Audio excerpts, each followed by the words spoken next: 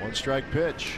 There's a ground ball to Sogard. Four, six, three. There's the double play. Two men out as Duda moves to third. Jimmy's been able to get those ground ball double play just when he's needed. We got one in the second, now in the sixth. So ground ball turns into two outs. There's that two-seam fastball. It's a good pitch. He's got the four-seamer, two-seamer, the ground ball.